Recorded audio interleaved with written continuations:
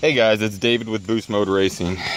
You got a GMC Sierra new new body style, which is the 2007 and a half through 2015, and you're getting a service StabiliTrak message, and you're getting an ABS message on your dashboard.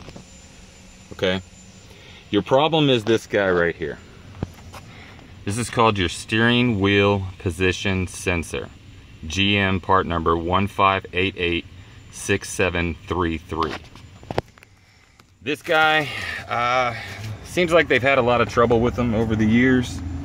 Uh, this is a common problem on this body style truck. And I'll show you exactly where that guy is. Let's see if I can turn this for you. See him right there, okay? Got that green cover on it. Okay, and this is the wiring harness that I'm shining the light on that plugs into it.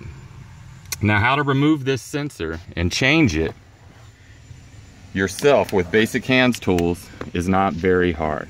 Okay, and you're gonna save yourself about $300, $350. What you're gonna need, you're gonna need a 13 millimeter box wrench, 15 millimeter box wrench, a quarter inch drive, with an extension. You're gonna need a Torx 20, you're gonna need a Torx 10, and you're gonna need a 10 millimeter socket of some sort. Quarter inch extension would be fine.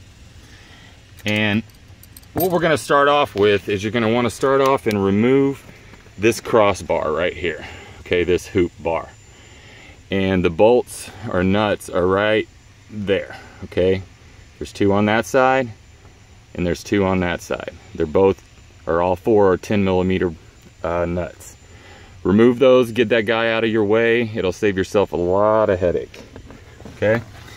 Then what you're gonna wanna do is you're gonna wanna move down to your actual steering shaft, okay? And this bolt and nut right here, it's a 13 millimeter head with a 15 millimeter nut, okay? It's got the yellow marking on it and it connects your steering wheel to your steering shaft or your steering box down in the rack and pinion. Okay, you're gonna remove that guy and set the bolt off to the side.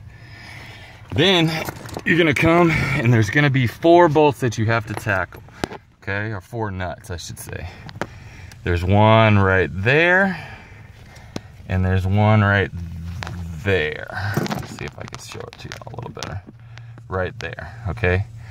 So remove that whole bracket and the nuts and then move your way up to right here. There's one. And then there's another one right there. So remove all four of those.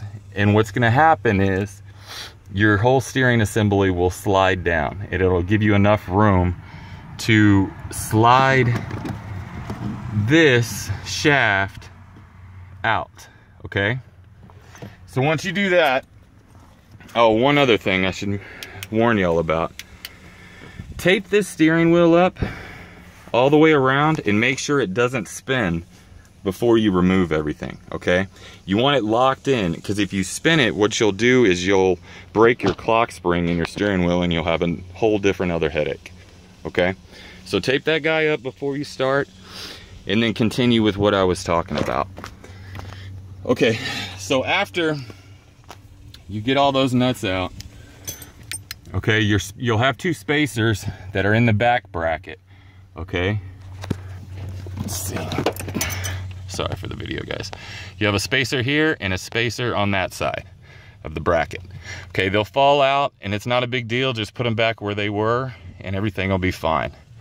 Okay, so once you get the steering shaft pulled out of this slot right here, and set down, you're gonna notice that this bracket right here, okay, is bolted on top of the steering shaft. And once the whole shaft slides down, you'll see what I'm talking about.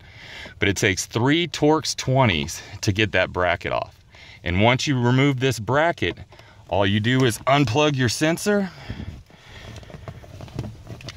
right here at the connection, and then you just wiggle it down the shaft and it comes right out. Let me see if I could set the light up for y'all.